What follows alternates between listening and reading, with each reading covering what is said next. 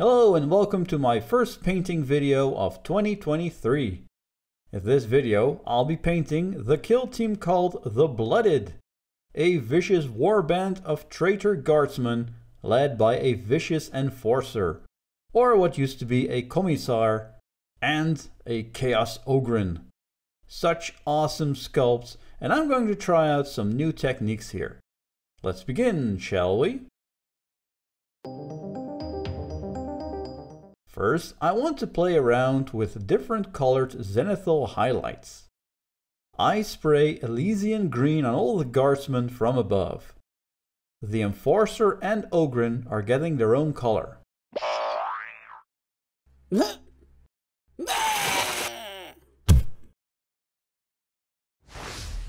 Next, I spray Stegadon Scale Green on the Enforcer from above. As you might have guessed, I'm picking out the main color of all the models with these zenithals. The Ogryn gets a zenithal of Rakarth flesh from above.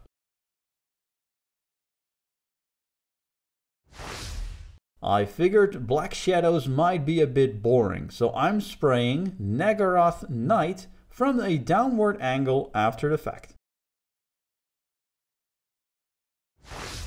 I really like how the models are looking here. I should have sprayed the models in Naggaroth Night first, but this also works. I'll focus on the guardsmen first. Although I used a green base coat, I want their armor to look like they sprayed their armor black with the original color showing through. First, I shade all the armor with Athonian Camo Shade. This dirties down the armor, but still gives it a green hue. Next, I layer on Elysian Green on all the areas that are hit with light. Because of the zenithal highlight, it is very easy to see where the paint goes. I repeat the process with Ogryn Camo, but add this as a highlight, so I make sure the previous layer is still showing. I also make some edge highlights where appropriate. Now to try something I've never tried before, chipping medium. I paint out the armor and let it dry before adding Black Templar. You can already see a cool effect where the Black Templar isn't really catching on onto the chipping medium. It looks really nice. I end up scratching at the black layer. You can either do this with a wet brush, but I decided on doing some battle damage scratches.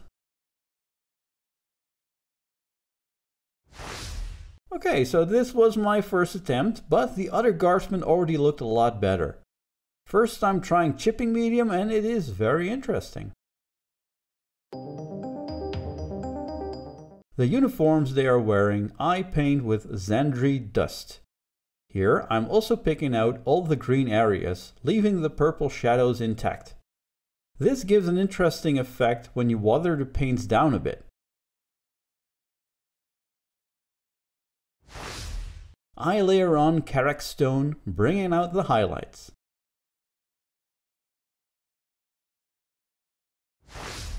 And I repeat highlighting with a mix of Karak stone and Ushabti bone.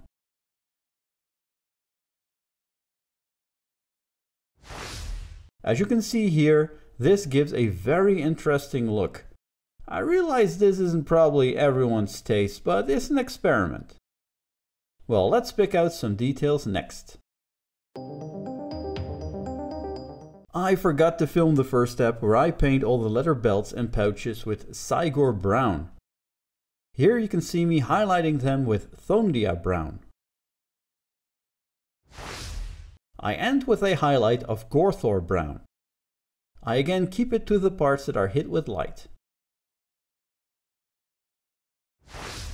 All the wrappings I paint with Skeleton Horde. This contrast paint doesn't cover very well, but it's actually no issue because I highlight the wrapping with Ushabti Bone.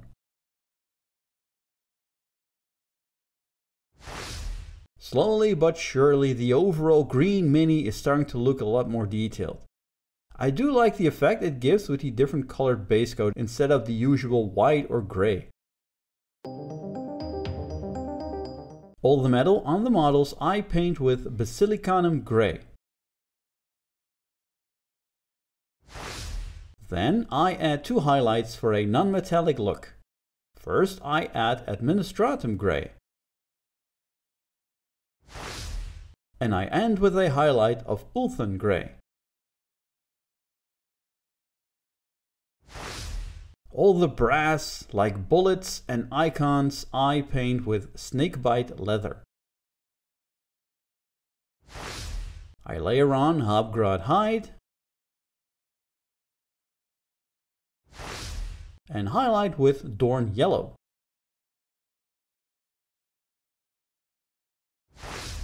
The wooden stocks on the last rifles I paint with Wyldwood contrast paint. I haven't used real metallic paints in a while, but I personally like how this looks. You could slightly dry brush a very light silver on the metal to give it a more metallic shine if you prefer that. These boys are going to look a bit on the rugged side, so I'm painting the skin with Rakarth Flesh. Again, I'm only painting the green areas, which is an indicator where the light will hit. I shade the skin with Druchii Violet. Then layer on a mix of Rakarth flesh and Pallid's Wych flesh. And I end with a final highlight of Pallid's Wych flesh.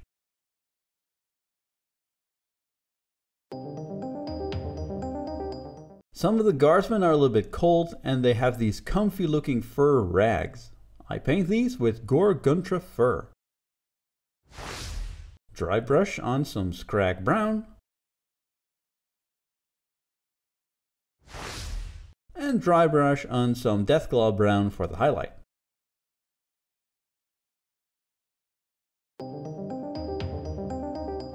The coat of the Enforcer I want to paint in a deep midnight blue.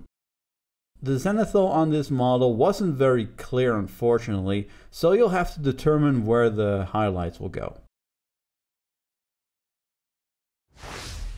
Next, I layer on Stegadon Scale Green on the coat, leaving the previous layer still showing.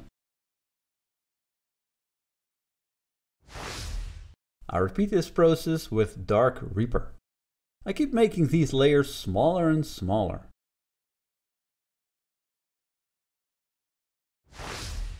Finally, I end up with a highlight of Thunderhawk Blue.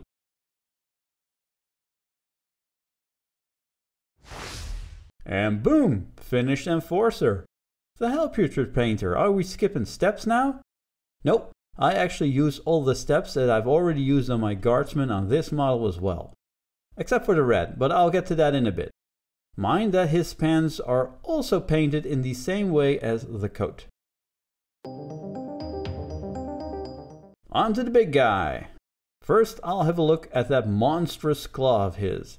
I paint this with the Volupus pink. I'm careful not to hit the teeth. Next, I shade the entire skin and the monstrous claw with a watered down Druchii Violet.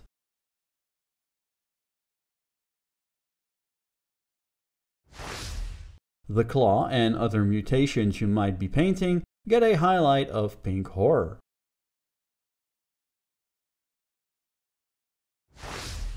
And a highlight of Emperor's Children.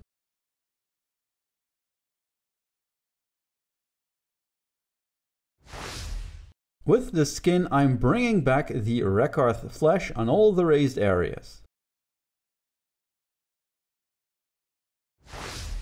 Then I add a big highlight with a mix of Rakarth flesh and Pallid's Wych flesh.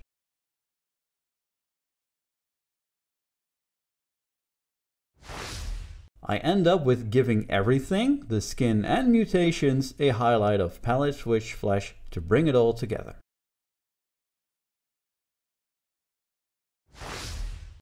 I also wanted the Ogryn to look sickly, but slightly different than the Guardsman.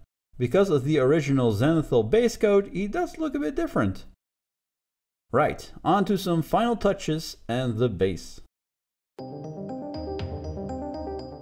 Okay, so you've already seen the red on the Enforcer, but I called this finishing touches, so I had to do it at the end of the video. I paint random shapes or chaos sigils with Khorne red.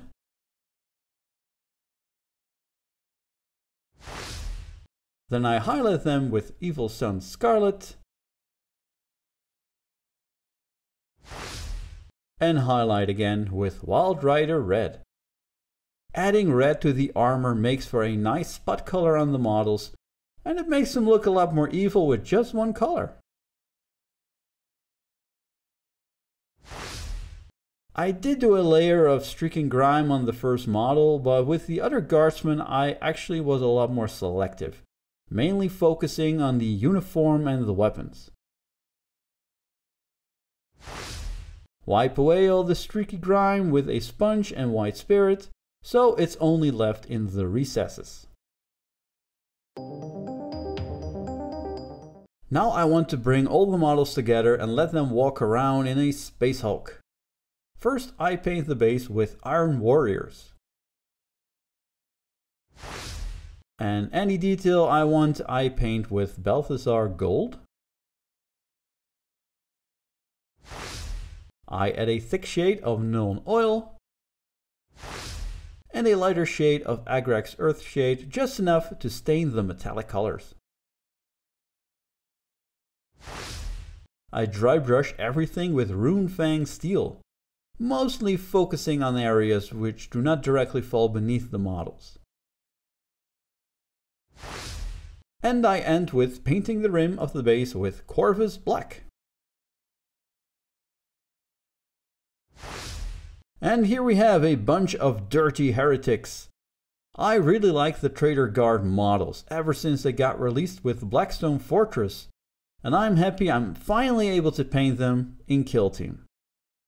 Although I did paint them pretty uniform, by using the red spot color in various shapes and symbols, they do look like a band of soldiers that kinda grab some random war gear from the battlefield. For my next video, I'm going to paint up some models for a brand new Age of Sigmar army, Witch Elves. In the meantime, be sure to check out my Instagram, where I post pictures of current projects and behind the scenes stuff. But for now, thanks for watching.